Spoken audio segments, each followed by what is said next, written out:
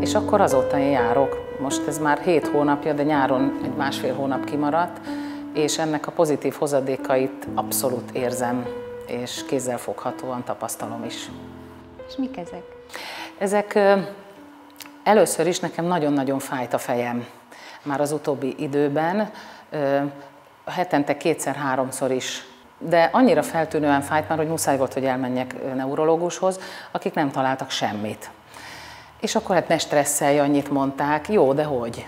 Tehát azt hogy kell, hogy az ember ne stresszeljen mondjuk színművészként, amikor fönn vagyok a színpadon, amikor próbálok, amikor ö, olyan feladataim vannak, egyedül nevelem a gyerekemet, az anyukám halálos beteg, hogy nem kell azt, hogy kell azt csinálni, hogy ne stresszeljünk. És ö, egyszer csak elmúlt a fejfájásom. Tehát azt vettem észre, hogy jé, már egy hónapja nem fáj.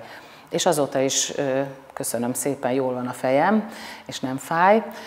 És azt mondtam, hogy most már tök mindegy, hogy mi lesz velem, mert bírom, erőm van, jó kedvem van hozzá, eszembe se jut, hogy aggódjak bármin, pedig én rendkívül aggódós és szorongós voltam, és amikor eltemettük anyukámat, akkor gondoltam vissza arra, hogy milyen ajándékokat kaptam én ettől a jogától, hogy egy szemernyit nem veszett, veszítettem az energiaszintemből. Én ezt pontosan éreztem, mert én ezt a színpadon le tudom mérni az előadások alatt.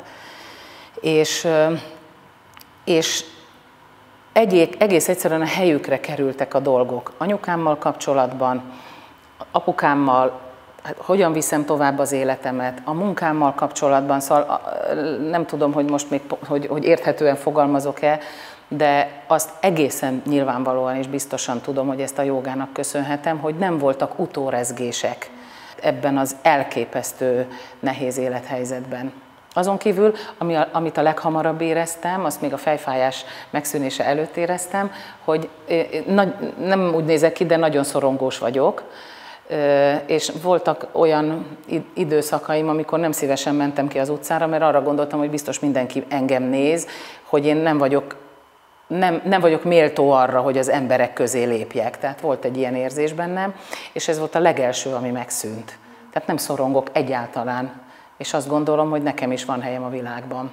Eljöttem egy ilyen egyéni felmérésre, és nekem az hát azonnal hiteles volt minden, tehát Anamé szemébe kell csak nézni, és, és teljes mértékben a bizalom megnyílt, és, és szétárad bennem, és az, hogy látta rajtam és bennem, ez egy olyan, olyan megnyugvás volt számomra, mint hogyha azt, tehát egy olyan érzésem volt, hogy végre jó kezekben van az életem, és jó helyre jöttem, mert itt majd megoldást fogok találni. Tehát ez volt az érzés.